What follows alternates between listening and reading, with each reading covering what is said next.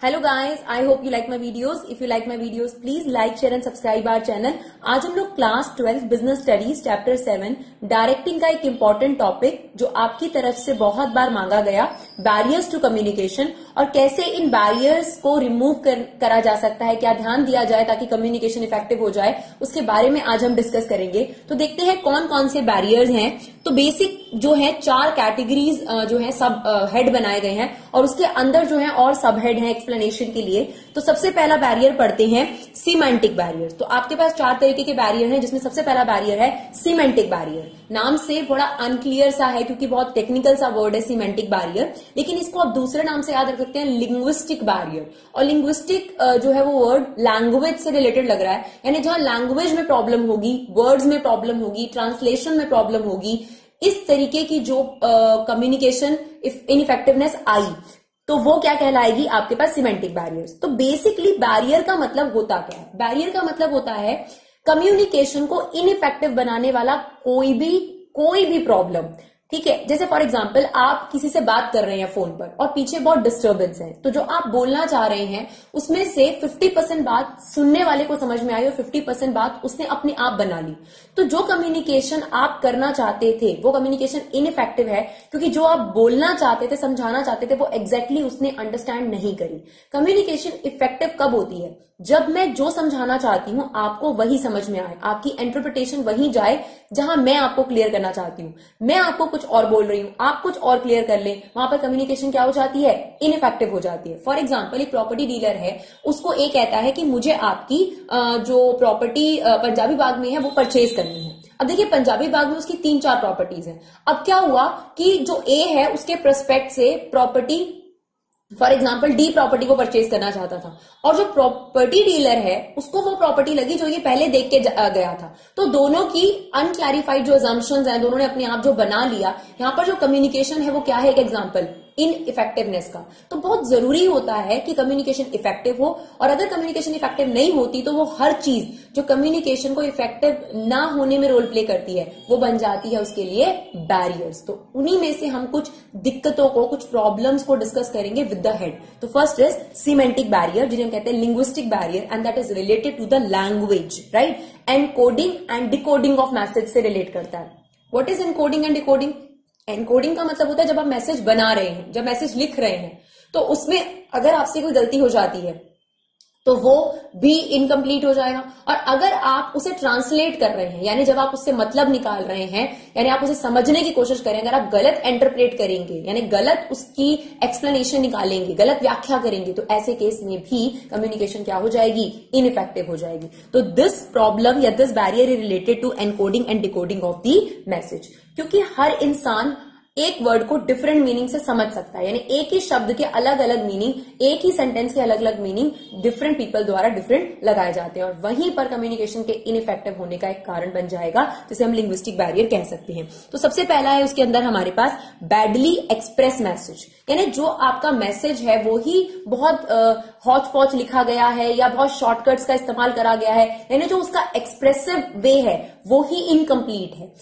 आपने कोई मैसेज लिखा और बहुत शॉर्ट में लिख दिया, उनका मतलब ही नहीं समझ में आ रहा जैसे आजकल के मैसेज में आपने ये लिख दिया। अब इसका मतलब भूत भी है और बहुत भी है। तो क्या होता है कि आपने अगर अपने मैसेज को क्लियर नहीं लिखा बैडली एक्सप्रेस है तो ऐसे केस में समझने वाला उसे क्लियरली नहीं समझेगा। अब फॉर एग्ज़ाम्पल हम ले सकते हैं सेंड गुड सून अब फॉर एग्ज़ाम्पल एक बिजनेसमैन ने एक पार्टी को कहा सप्लायर को कि आप माल भेज दीजिए सून अब यहाँ सून का मतलब कुछ भी हो सकता है। जो पार्टी ऑर्डर कर रही है, वो चाह रही है कि आज ही माल आ जाए।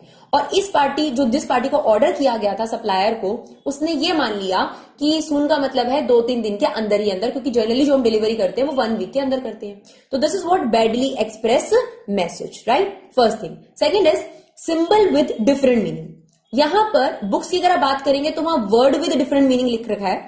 लेकिन यहाँ पर जो अल्फ़ाबेट है, वो है सिंबल विद डिफरेंट मीनिंग तो इसका अगर मैं एग्जांपल आपको बोलूँ तो अगर आप ये थम देखेंगे तो इस थम का क्या मतलब होता है? इस थम यानी इस सिंबल के अगर आप मैसेज में देखेंगे तो दो मतलब है। एक तो भाई ठेंगा दिखा रहे हैं आपको, और दूसरा क्या है कि ऑल द बेस्ट तो this is the symbol with different meaning right तो आपके पास ऐसे बहुत सारे सिंबल uh, होते हैं जिसमें आप अपने हिसाब से अलग अलग मतलब लगा सकते हैं। अब आप देखेंगे कि नमस्कार ऐसा एक सिंबल होता है। अगर आप व्हाट्सएप मैसेजेस में देखेंगे तो वहाँ पर कई बार होता है भाई चुप हो जा बस कर। और एक बार आप किसी चीज़ को ग्रीट करने के लिए भी इस्तेमाल कर सकते हैं। नमस्कार के लिए भी आप उसको इस्तेमाल कर सकते हैं। तो कहने का मतलब क्या है? एक ही सिंबल है बट उसके क्या क्या मतलब लगाए जाएँगे? डिफरेंट तो आप मुझे बताइए, जो मैं बोलना चाहती हूँ, सामने वाले ने उससे डिफरेंट मीनिंग निकाला कि नहीं निकाला? और अगर ऐसा किया तो जो मैं समझाना चाहती थी उसने नहीं समझा, और कम्युनिकेशन क्या हो गई? इनफेक्टिव और इसी वजह से कम्युनिकेशन बैरियर क्रिएट हुआ, जिसे हमने दिया सिंबल विद डिफरेंट मीनिंग आप वर्ड विद डिफरेंट मीनिंग भी इसी में कंक्लूड कर सकते हैं। जैसे राइट और राइट तो बहुत ध्यान से इन वर्ड्स को लिखना चाहिए, क्योंकि इनका मतलब अलग है। राइट सीधे हाथ को और राइट मतलब करेक्ट होता है। प्रिंसिपल और प्रिंसिपल एक प्रिंसिपल का मतलब आपके स्कूल के प्रिंसिपल भी और एक प्रिंसिपल का मतलब सिद्धांत होते हैं। तो दिस इज़ द कंफ्यूजन जो आप जब वर्ड लिखते हैं तो आपको बहुत ज़्यादा ध्यान रखने की ज़रूरत है। और हमारे पास इसके अंदर आता है faulty translation faulty translation means जिसको भी आपने जैसे फॉर एग्ज़ाम्पल अगर uh, मुझे थोड़ी बहुत फ्रेंच आती है राइट तो मेरे किसी फ्रेंड को एक लेटर आता है ऑफिशियल लेटर आता है और वो मुझे कहता है कि आप एक काम करिए प्लीज़ मुझे ना ये जो फ्रेंच में लिखा है इसे ट्रांसलेट कर दीजिए। तो मुझे टूटी फूटी फ्रेंच आती है, मुझे बहुत अच्छे से फ्रेंच नहीं आती है। तो मैंने क्या किया, अपने हिसाब से ही उसको ट्रांसलेट कर दिया, क्योंकि मुझे चार पाँच वर्ड्स के मीनिंग तो बहुत अच्छे से आते थे, कुछ वर्ड्स के नहीं आते थे। तो मेरी इंटरप्रिटेशन की वजह से वो जो ऑफिशियल मैसेज मैंने अपने फ्रेंड को कन्वे करा उसका टोटली डिफरेंट मीनिंग हो गया। तो अगर ट्रांसलेशन डिफरेंट हो, यानी जो ट्रांसलेटर है वो ही गलत मतलब बता दे, या गलत चीज़ें निकाल दे, उसका कंक्लूजन गलत निकाल दे तो ऐसे केस में भी कम्युनिकेशन क्या हो जाएगी? इन इफ़ेक्टिव हो जाएगी राइट तो सबसे पहले हमने डिस्कस करा इसके अंदर बैडली एक्सप्रेस मैसेज यानी मैसेज को आ, सही तरीके से एक्सप्रेस करना बहुत ज़रूरी है। सिंबल विद डिफरेंट मीनिंग एक ही सिंबल के अलग अलग मतलब हो सकते हैं तीसरा फॉल्टी ट्रांसलेशन चौथा है अनक्लैरिफाइड अजम्पन अजम्पन का मतलब क्या होता है? कुछ मान लेना। Right right? जैसे कोई एक बॉस जो है अपने वर्कर को कहता है टेक केयर ऑफ़ गुड्स ना यहाँ पर जो भी मैनेजर है या जो सुपीरियर है उसका मतलब ये है कि तुम उसकी क्वालिटी का ध्यान रखो कि क्वालिटी अच्छी होनी चाहिए माल को ध्यान रखो कि माल सही बनना चाहिए। जबकि वर्कर ऐसा समझ रहा है कि उस माल की सेफ्टी के बारे में बॉस कह रहा है। तो this is what unclarified assumption यानी आपको क्लियर नहीं करा गया कि टेक केयर का मतलब यहाँ पर क्या है। अब जैसे फॉर एग्ज़ाम्पल एक और एग्ज़ाम्पल है कि मैनेजर uh, ने एक फॉरेन गेस्ट आए थे उन्होंने अपने असिस्टेंट को बोला take care of the guest तो यहाँ पर उनका मतलब सिर्फ़ ये था कि उन्हें नीचे सिर्फ़ कैब वैब करा दो ताकि वो एयरपोर्ट तक चले जाए। अब वो जो आपका जो सबॉर्डिनेट था, उसको लगा कि नहीं भाई, उनको लंच वंच करा के अच्छे से उनको पूरा एयरपोर्ट पर छोड़ के सब कुछ कर कर आना है और बाद में जो भी खर्चा होगा मुझे बॉस दे देंगे। तो यहाँ पर क्या प्रॉब्लम हुई? फिर जब वो बॉस से आके कहता है कि, सर, मैंने उनको डिनर सॉरी लंच वगैरह कराया, अब आप मुझे जो है ये पेमेंट जो है आप दे दीजिएगा। आपने कहा था कि उसका पूरा ध्यान रखना। मैंने उसे बहुत अच्छी कैब करवाई है लग्जरी लग्जरी कार करवाई है और मैंने उसे बहुत अच्छे रेस्टोरेंट में खाना वाना खिलाया। उसके बाद में उसे पर्सनली ड्रॉप करके आया। तो सर, आप मुझे अब इसकी पेमेंट दे दीजिएगा। तो यहाँ पर क्या हुआ? अब दोनों में झगड़ा चलेगा। मैंने, मेरा मतलब तो ये नहीं था। मेरा मतलब तो सिर्फ़ ये था कि तुम नीचे तक उसे ड्रॉप कर दो और टैक्सी लेके दे दो उसको नॉर्मल सी। पर तुमने कुछ और ही समझ लिया। तो this is what unclarified assumption जो प्रॉब्लम क्रिएट करती है। उसके बाद है technical jargon technical jargon means technical words difficult word जैसे फॉर एग्ज़ाम्पल अगर हम कॉमर्स वाले साइंस वाले बच्चों को कहें कि आ, ये डेटर हो जाएगा तो वो क्रेडिटर बढ़ जाएँगे तो ये हो जाएगा। तो उनको बिल्कुल समझ में नहीं आएगा भाई ये क्या बोल रहे हैं? Trade payable bill payable bill receivable तो ये वर्ड उनके लिए क्या है? टेक्निकल है। यानी जो पर्सन जिस फ़ील्ड में होता है, उसे अपनी फ़ील्ड के बारे में वो वर्ड क्लियर होते हैं। लेकिन जब आप एक लेमैन के लिए, एक नॉर्मल पर्सन के लिए कोई मैसेज टाइप करते हैं तो आपके वर्ड उसकी एजुकेशन के हिसाब से ही होने चाहिए। टेक्निकल नहीं होने चाहिए। अब डॉक्टर अगर हमें कोई बीमारी लिख देता है तो हमें समझ में नहीं आता, भाई, ये क्या बोल रहा है? ठीक है ना? तो हमें उसकी एक्सप्लेनेशन उसी से लेनी पड़ती है कि इस बीमारी का क्या मतलब है। या ये जो आप दवाई दे रहे हो, उसकी कोई मीनिंग नहीं समझ में आते प्रोनाउंसिएशन भी नहीं करनी आती है। तो this is what technical word हो जाते हैं हमारे लिए। लेकिन डॉक्टर्स के बीच में वो क्या है? या मेडिकल वाले जो होते हैं, उनके लिए वो क्या है? वो एक नॉर्मल वर्ड है। तो टेक्निकल जार्जन को अवॉइड करना चाहिए। यानी ऐसे डिफ़िकल्ट वर्ड जो आपकी समझ के अंदर है, लेकिन सामने वाले की समझ में होंगे या नहीं होंगे, उसकी कोई श्योरिटी नहीं है। तो जिससे उसको मैसेज अनक्लियर हो जाएगा तो ऐसे टेक्निकल वर्ड्स का इस्तेमाल नहीं करना चाहिए। अब फॉर एग्ज़ाम्पल मैं आपको यही चीज़ समझा रही हूँ टेक्निकल जार्जन और मैं इसे बड़े डिफ़िकल्ट वर्ड में समझाना शुरू कर दूँ, और टेक्निकल लैंग्वेज लेना शुरू कर दूँ रादर देन सिंपल चीज़ में समझा दूँ कि भाई टेक्निकल का मतलब होता है कॉम्प्लेक्स वर्ड लेना, जो आपकी समझ में तो आते हैं, मेरी समझ में नहीं आते हैं। तो टेक्निकल जार्जन को समझाने के लिए मुझे सिंपल लैंग्वेज का इस्तेमाल करना है। राधर देन मैं फिर से टेक्निकल लैंग्वेज को इस्तेमाल करूँ तो अगर आपको मैसेज को क्लियर करना है तो आपको टेक्निकल जार्जन को अवॉइड करना चाहिए। लास्ट है आपके पास सीमेंटिक बैरियर्स के अंदर body language and gesture recording gesture decoding देखिए, सबसे इंपॉर्टेंट क्या होता है कि जब आप किसी को कोई कम्युनिकेशन कर रहे होते हैं, कोई मैसेज कन्वे कर रहे होते हैं, और आपकी बॉडी जो है, आपकी कम्युनिकेशन के रिवर्स में जा रही होती है, यानी अपोजिशन कर रही होती है तो सुनने वाले का जो इंटरेस्ट होता है, वो खत्म हो जाता है, क्योंकि उसे साफ़ साफ़ लगता है कि तुम जो भी बोल रहे हो, उसमें सच्चाई की कमी है। Right right? ऐसा होता है ना? जब आप किसी पर्सन को कह रहे हो, कोई कह रहा है कि मैं आपसे बहुत हमदर्दी रखता हूँ, ये है, वो है, लेकिन उसके हाव भाव से कहीं नज़र नहीं आ रहा कि वो आपसे हमदर्दी रखता है, सिर्फ़ शब्दों में दिख रहा है। तो आप उस पर बिल्कुल गौर नहीं करोगे कि वाक्य में वो क्या बोल रहा है। तो इसलिए बहुत ज़रूरी होता है कि बॉडी लैंग्वेज पर भी बहुत ध्यान रखा जाना चाहिए और जो आपके जेस्टर्स हैं उनपे भी कंट्रोल होना चाहिए किस तरीके की कम्युनिकेशन है। तो this is semantic barrier first badly express message second आपके पास है symbol with different meaning faulty translation unclarified assumptions technical jargon body language and gesture decoding I hope आपको ये समझ में आए हो। सेकेंड आपके पास है साइकोलॉजिकल बैरियर देखो साइकोलॉजिकल से क्लियर होता है मेंटल बैरियर है ये, हमारे इमोशनल बैरियर्स हैं ये, जो हमारी कम्युनिकेशन को इफ़ेक्टिव नहीं होने देते। फॉर एग्ज़ाम्पल अगर आप बहुत ही दुखी हैं स्ट्रेस्ड हैं, और बॉस आपको कोई बहुत ही इंपॉर्टेंट प्रोजेक्ट के बारे में डिस्कस कर रहा है तो क्या आप बताइए, क्या आप उसे ध्यान से समझ पाएँगे? जो वो समझाना चाहते हैं कि आप सुन पाएँगे? नहीं। तो यहाँ पर कम्युनिकेशन क्या हो गई? इनइफेक्टिव एंड बैरियर का नाम क्या होगा? इमोशन कंट्रोल नहीं हो पा रहे वहाँ पर हमारे। हम स्ट्रेस्ड हैं। या फिर हम किसी पर्सन से बहुत गुस्से में हैं और सामने वाला पर्सन कोई बात कर रहा है तो भी हम उसकी बात को सुनना पसंद नहीं करेंगे या सुनेंगे तो इग्नोर ज़्यादा करेंगे। तो ये जो इमोशंस हैं, इन पर कंट्रोल नहीं करा जा सकता और इसी वजह से जब ये इमोशनल डिस्टर्ब होते हैं हम लोग तो ऐसे केस में अगर कम्युनिकेशन हो रही है तो वो कम्युनिकेशन जनरली क्या होती है? इन इफ़ेक्टिव होती है। तो basically it relate with the state of mind यानी अगर आपका स्टेट ऑफ़ माइंड जो है वो स्टेबल है आप सुनने की कंडीशन में हैं तो तो आप कम्युनिकेशन को इफ़ेक्टिव बना सकती हैं। और अगर आपका दिमाग हर चीज़ को रोक रहा है आप आ, आ, सुन रहे हैं आप क्लास में बैठे हैं लेकिन आपका ध्यान जो है घर में लगा हुआ है घर में वो प्रॉब्लम है ये प्रॉब्लम है तो ऐसे केस में क्लास में क्या हो रहा है चाहे टीचर कितना अच्छा पढ़ा ले आपको समझ में नहीं आएगा राइट उसके बाद अगर हम बात करें लैक ऑफ़ अटेंशन इसका जो फ़र्स्ट पॉइंट है साइकोलॉजिकल बैरियर्स की अगर टाइप की बात करें तो लैक ऑफ़ अटेंशन देखिए, सबसे इंपॉर्टेंट चीज़ यही होती है कि आप कॉन्सेंट्रेट ही नहीं कर रहे हैं जो आपको बताया जा रहा है तो आप उस पर ध्यान ही नहीं दे रहे हैं तो भी कम्युनिकेशन क्या हो जाएगी? इनफेक्टिव जनरली जो स्टूडेंट्स होते हैं, वो कंप्लेन करते हैं कि टीचर अच्छा नहीं है। तो देखिए, एक नॉर्मल सी बात है कि वही टीचर पचास बच्चों को पढ़ा रहा है, जिसमें से अगर दस बच्चे स्कोर कर रहे हैं, चालीस नहीं कर रहे हैं तो किसी को अलग से नहीं पढ़ाया गया। प्रॉब्लम क्या होती है? जब कहते हैं चार बच्चे, हमें तो टीचर का बहुत अच्छा समझ में आया। प्रॉब्लम यही है डियर और भी प्रॉब्लम हो सकती है, लेकिन कहीं ना कहीं ये प्रॉब्लम होती है कि कुछ स्टूडेंट्स क्या करते हैं? कॉन्सेंट्रेशन की कमी रहती है, उनकी अटेंशन की कमी रहती है। एक तो उनके मन में ये प्रस्पेक्ट होता है कि हमें समझ आएगा ही नहीं, ये भी एक प्रॉब्लम होती है। मैथ्स तो हमसे होगी ही नहीं, ये तो हमें पेरेंट्स ने ज़बरदस्ती दिला दी, हमारे बस का तो है ही नहीं। तो लैक ऑफ़ अटेंशन किसी भी वजह से हो सकती है, आप स्ट्रेस्ड हैं या फिर आप इमोशनली डिस्टर्ब हैं, कोई भी रीजन हो सकता है, लेकिन lack of attention is the reason जहाँ पर आपकी कम्युनिकेशन इफ़ेक्टिव नहीं होगी राइट उसके बाद सेकंड है हमारे पास डिस्ट्रस्ट अगर सामने वाले पर आप विश्वास नहीं करते हैं तो ऐसे केस में भी आपकी कम्युनिकेशन कभी इफ़ेक्टिव नहीं हो सकती। आपको लगता है ये जो बोलेगा, झूठ बोलेगा राइट या फिर ये बोलेगा तो अपने फ़ायदे के लिए बोलेगा मैनिपुलेटिव लैंग्वेज बोलेगा। ठीक है, अपना फ़ायदा, ये तो नेताओं की तरह है, ये तो कुछ भी अपने फ़ायदे की बात नहीं बोलने वाला, ये मैनेजर तो अपना फ़ायदा करके निकल लेता है, वर्कर का फ़ायदा नहीं देता तो वो कुछ भी स्कीम आपको बताने आएगा, वो कोई भी कम्युनिकेशन आपसे करने आएगा, ये जो डिस्ट्रस्ट है ना, वो आपको उसकी कम्युनिकेशन को पूरे तरीके से अपने पास सुनने के लिए कहीं ना कहीं मजबूर करेगा कि आप उसकी बात को पूरे तरीके से ना सुने। तो distrust is also a factor जो बैरियर बन सकता है कम्युनिकेशन में।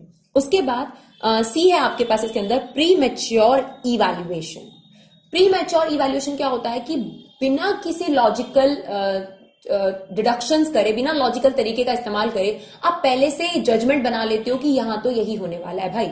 इससे तो यही रिज़ल्ट निकलने वाला और कुछ नहीं होने वाला। राइट तो वो जो जजमेंट आपने बना ली है, वो आपकी कम्युनिकेशन को क्या बनाएगी? इनफेक्टिव जैसे फॉर एग्ज़ाम्पल कि जनरली ऑर्गेनाइजेशन में मीटिंग होती है और उस मीटिंग के अंदर क्या करा जाता है कि जो मैनेजर्स होते हैं, वो अपनी परफॉर्मेंस के बारे में बताते हैं कि हमने ये करा, वो करा। और वर्कर्स के लिए किसी भी तरीके का कोई रोल नहीं होता। बस वर्कर को बैठा दिया जाता है उन्होंने रिफ्रेशमेंट दे दी जाती है।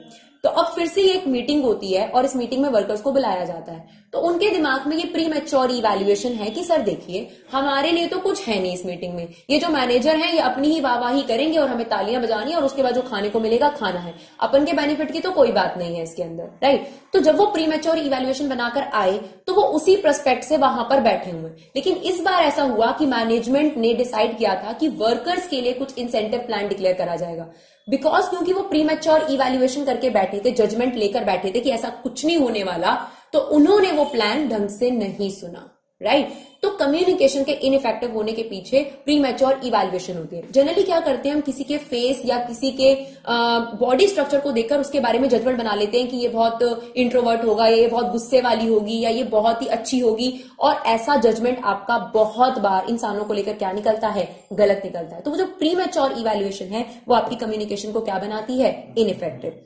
उसके बाद इसके अंदर चौथा पॉइंट है loss by transmission and poor retention देखिए नॉर्मल सी बात है कि अगर आज मैं आपको ये टॉपिक समझा रही हूँ, ठीक है? तो मैं अपना एफर्ट अगर मान लो 90 परसेंट लगा रही हूँ कि आपको ये टॉपिक समझाया जाए। आप उसको सुनेंगे तो आपने उसमें से समझा फॉर एग्ज़ाम्पल 80 परसेंट राइट उस 80 परसेंट में से जब आप किसी और को समझाने लगे, क्योंकि आप, एक तो होता है ट्रांसमिशन प्रोसेस में ही लॉस हो जाता है। जैसे अगर फॉर एग्ज़ाम्पल ए ने कहा कि बी को आप ये इन्फॉर्म कर दीजिएगा राइट अब ए ने मान लेते हैं बीस बातें बोली हैं, लेकिन बी जो है, इस ट्रांसमिशन के दौरान क्या कहते हैं, बीस बातें इसको बताई गई। लेकिन बी इन सभी बातों को रिटेन नहीं कर सकता। बी ने जब सी को ये ट्रांसमिट करी तो उनमें से सिर्फ़ और सिर्फ़ पंद्रह बातें ही यहाँ पर ट्रांसमिट हुई। तो ये एक नॉर्मल प्रोसेस है कि आप हर चीज़ को ध्यान नहीं रख सकते तो loss by transmission and poor retention तो जनरली ट्रांसमिट करते वक्त इन्फॉर्मेशन लॉस्ट होती है और रिटेंशन जो है, यानी आपकी जो याद रखने की पावर है, आप सब चीज़ों को याद नहीं रख सकते हैं, ये उसी वजह से होता है। तो this is your second barrier that is psychological barrier या इमोशनल बैरियर जिसमें आपके पास है lack of attention distrust premature evaluation and loss by transmission and poor retention इसके बाद थर्ड बैरियर है हमारे पास organisational barrier which is very important organisational barrier में आप ये देखेंगे कि ऑर्गेनाइजेशन का जो स्ट्रक्चर होता है, जो रूल्स एंड रेगुलेशंस होते हैं, उनकी वजह से भी कई बार सुपीरियर और सबॉर्डिनेट के बीच में जो कम्युनिकेशन की इफेक्टिवनेस दिखनी चाहिए वो नहीं दिखती। तो वो कौन कौन से कारण हैं जो ऑर्गेनाइजेशनल बैरियर्स बनते हैं? फ़र्स्ट है ऑर्गेनाइजेशन की पॉलिसी तो देखिए ऑर्गेनाइजेशन की पॉलिसी सेंट्रलाइजेशन फॉलो करने की है या डिसेंट्रलाइजेशन फॉलो करने की इससे बहुत फ़र्क पड़ता है। अगर आप हाईली सेंट्रलाइज ऑर्गेनाइजेशन है तो यहाँ पर कम्युनिकेशन इन इफ़ेक्टिव बहुत ज़्यादा होगी डियर क्योंकि सेंट्रलाइज का मतलब ये होता है कि पूरी जो डिसीज़न मेकिंग पावर है वो एक ही पर्सन के हाथ में चली जाती है। फिर आपके पास रूल्स एंड रेगुलेशन जो रिजिट रूल्स एंड रेगुलेशन होते हैं कंपनी में कि आपने ऐसे ही करना है, ऐसे नहीं करना, बहुत ज़्यादा रिस्ट्रिक्शन है तो वहाँ पर भी कम्युनिकेशन इनफेक्टिव होती है। एक छोटा सा एग्ज़ाम्पल देती हूँ कि किसी किसी घर में ऐसा होता है कि जो पेरेंट्स होते हैं वो बच्चों के लिए बहुत स्ट्रिक्ट होते हैं कि आपने इसी टाइम खाना खाना है, आपने इसी टाइम पढ़ाई करनी है, आप इतने टाइम तक फ़ोन देखेंगे। इतने रूल्स एंड रेगुलेशन के बीच अगर बच्चों के पास कोई इन्फॉर्मेशन है, वो कोई बातचीत अपने पेरेंट्स के साथ शेयर करना चाहते हैं तो वो डर के मारे इन रिजिड रूल्स एंड रेगुलेशन में अपनी बात को कम्युनिकेट नहीं कर पाते तो थोड़ी बहुत फ्लेक्सिबिलिटी ऑर्गेनाइजेशन में होनी चाहिए। बहुत ज़्यादा रिजिडिटी कम्युनिकेशन को डेफिनेटली हेम्पर करती है राइट उसके बाद अगर हम बात करें कॉम्प्लेक्स ऑर्गेनाइजेशन की तो आपने पढ़ा है कि टॉल स्ट्रक्चर भी होता है और जितना ज़्यादा आपका स्ट्रक्चर टॉल होता जाएगा कॉम्प्लेक्सिटी कम्युनिकेशन में उतनी बढ़ती जाएगी। जैसे फॉर एग्ज़ाम्पल आपके पास ये बोर्ड ऑफ़ डायरेक्टर्स है। बोर्ड ऑफ़ डायरेक्टर्स के नीचे एमडी है। इनके नीचे आपके पास तीन डिपार्टमेंट है। फिर इनके नीचे भी दो दो लोग हैं आपके पास। फिर यहाँ पर आपके पास और। तो ये जो स्ट्रक्चर है, ये आपके पास बहुत कॉम्प्लेक्स होता जा रहा है और यहाँ कम्युनिकेशन में डिलेज भी आपको बहुत ज़्यादा देखने को मिलेंगे। तो यहाँ पर भी कम्युनिकेशन क्या हो जाएगी? इनइफेक्टिव हो जाएगी। उसके बाद फोर्थ पॉइंट है ऑर्गेनाइजेशनल फैसिलिटीज़ अगर ऑर्गेनाइजेशन में कम्युनिकेशन को लेकर फैसिलिटीज़ है ही नहीं टू वे कम्युनिकेशन की फैसिलिटीज़ है ही नहीं तो वो कम्युनिकेशन को हैम्पर करती है। आप किसी किसी ऑर्गेनाइजेशन में देखेंगे सजेशन बॉक्सेस लगे होते हैं कंप्लेंट बॉक्सेस लगे होते हैं। बैंक में आप देख सकते हैं कंप्लेंट बॉक्सेस आपको देखने को मिल जाते हैं। तो बेसिकली वो क्या है? वो ऑर्गेनाइजेशन में एक फैसिलिटी दी जा रही है कि आप अपनी बात को हमारे तक क्या कर सकते हैं? कम्युनिकेट कर सकते हैं। अपनी प्रॉब्लम्स अपनी ग्रीवेंसेस जो है, हमारे साथ क्या कर सकते हैं? शेयर कर सकते हैं। और जिन ऑर्गेनाइजेशन में इस तरीके के सजेशन बॉक्स कंप्लेन बॉक्स नहीं होते वहाँ पर वर्कर्स या जो सबॉर्डिनेट्स हैं, वो अपनी बात को अपने तक ही रह जाते हैं और जिस वजह से डिससेटिस्फैक्शन क्रिएट होता है उनके बीच में और डिससेटिस्फैक्शन लीड करता है इनडिसिप्लिन को। मतलब जब आप सिंपल सी बात है, आपकी बात को सुना ना जाए तो आप में एक नाराज़गी बढ़ती जाएगी बढ़ती जाएगी और वो एक रूल लेगी इनडिसिप्लिन का। अब आप देखते हैं हमारे देश में क्राइम है या किसी भी स्टेट के अंदर क्राइम है तो उसका सबसे बड़ा कारण यही है कि हमारे यहाँ पर अगर कोई प्रॉब्लम क्रिएट होती है तो उसका सॉल्यूशन नहीं दिया जाता राइट तो एक तरीके से डिसकंटेंट जो कह सकते हो, दुख जो है लोगों में बढ़ता जाता है और वो दुख नफरत में बदल जाता है और वो नफरत जो है वो क्राइम में बदल जाती है, चाहे वो किसी का मर्डर है या फिर कोई भी चीज़ होती है, मारपीट है तो वो क्राइम में बदल जाती है। तो इसी तरीके से अगर आप वर्कर्स की सजेशन को, यानी टू वे कम्युनिकेशन नहीं करोगे तो वो कम्युनिकेशन इफ़ेक्टिव नहीं होगी। सिर्फ़ आप मेरी बात को सुनते रहे, पर मैं आपकी बात को ना सुनूं तो this is not a uh, effective communication. So this is the organizational barrier, organization policy, rules and regulations, complex organization and organizational facilities. इसके बाद हमारे पास फोर्थ टाइप की और लास्ट टाइप के बैरियर्स हैं that is personal barriers personal barrier basically relate करते हैं जो सेंडर होगा हमारे पास।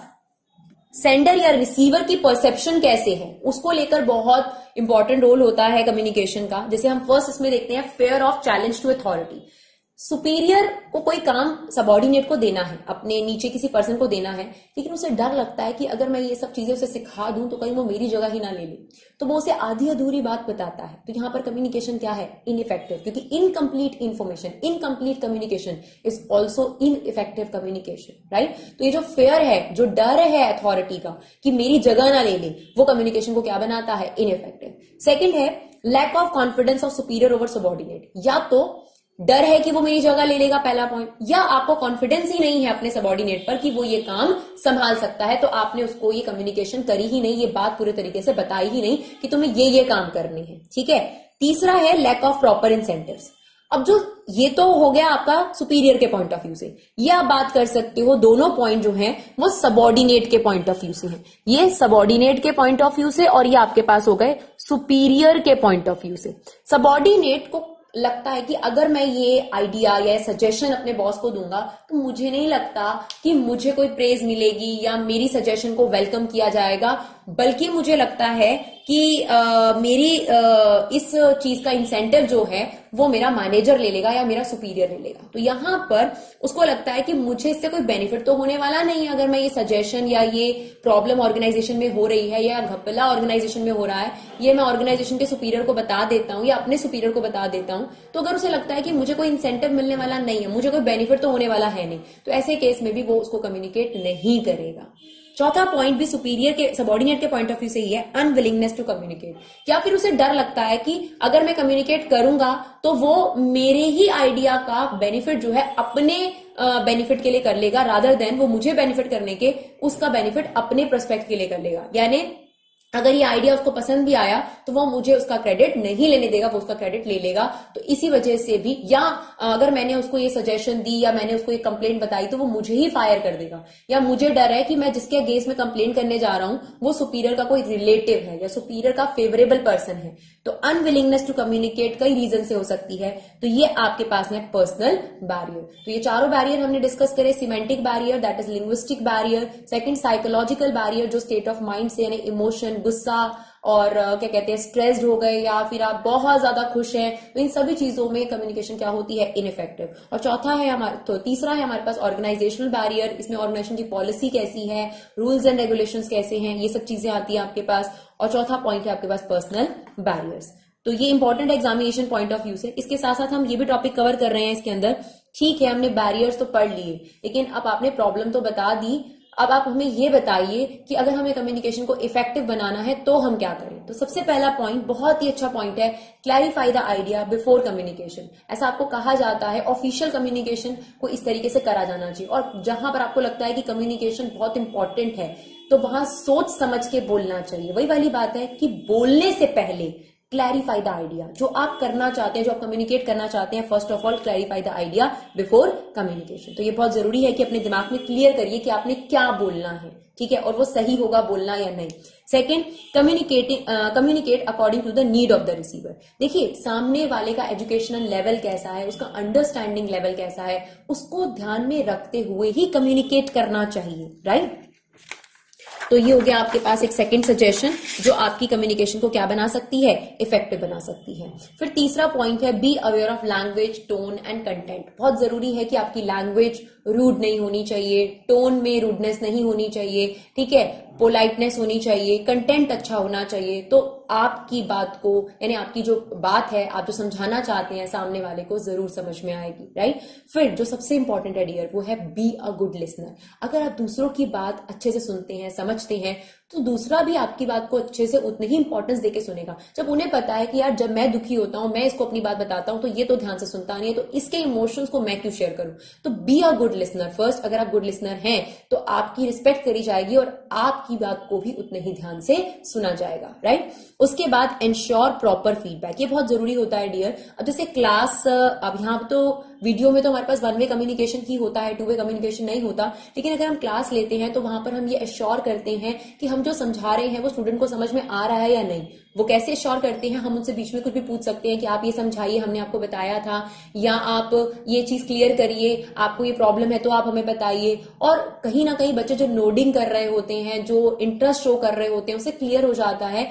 कि वो हमें फीडबैक दे रहे हैं, वो हमें रिस्पॉन्स कर रहे हैं। तो प्रॉपर फीडबैक ज़रूर मिलना चाहिए आपको, यानी रिस्पॉन्स लेना। ठीक है, जो भी आप बात कर रहे हैं, उसका रिस्पॉन्स लेना बहुत ज़रूरी है, अगर आप अपनी कम्युनिकेशन को इफ़ेक्टिव बनाना चाहते हैं। Communication for present as well as for future यानी जो कम्युनिकेशन है, जो बातचीत है, वो प्रेजेंट के बारे में भी हो सकती है फ्यूचर के बारे में भी हो सकती है राइट और सबसे ज़रूरी चीज़ है फॉलो अप कम्युनिकेशन आपने जो भी बात बोली उसको फॉलो अप करना ज़रूरी है। यानी आपने क्या बोला एक बार दिमाग में ज़रूर सोच लेना चाहिए कि यार मैंने ये ये बात बोली कुछ गलत तो नहीं हो गया इसके अंदर राइट उसके बाद लास्ट है कंसल्ट अदर बिफोर कम्युनिकेटिंग अगर आप कोई बहुत ही इंपॉर्टेंट इशू बोलने जा रहे हैं या बहुत इंपॉर्टेंट कम्युनिकेशन करने जा रहे हैं जिससे uh, बहुत बड़ा इम्पैक्ट पड़ेगा आपकी लाइफ पर या आपके बिज़नेस पर तो इसके लिए बहुत ज़रूरी है कि उस बात को बोलने से पहले आप अपने जो भी आपको लगता है कि आपकी बात को समझ सकते हैं उनसे कंसल्ट ज़रूर ज़रूर करें I hope you like my videos thank you so much guys for your love and support keep supporting विबा classes